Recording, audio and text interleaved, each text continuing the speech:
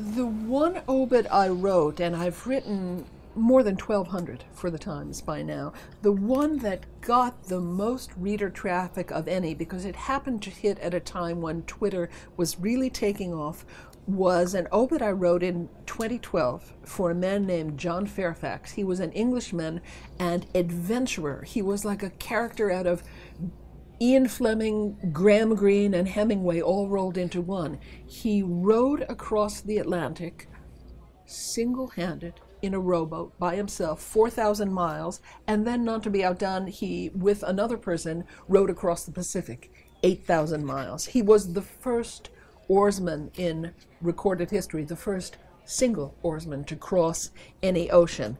And what we say in the obit was that those feats turned out to be the least of it. Here's what we said.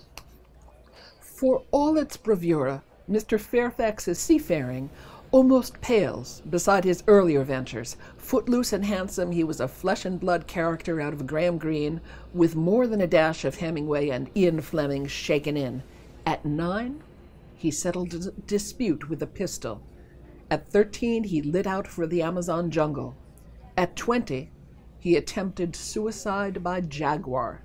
Afterward, he was apprenticed to a pirate. To please his mother, who did not take kindly to his being a pirate, he briefly managed a mink farm, one of the few truly dull entries in his otherwise crackling resume. Well, readers went nuts for this. They said, This is the original, most interesting man in the world from the Dos Equis commercials.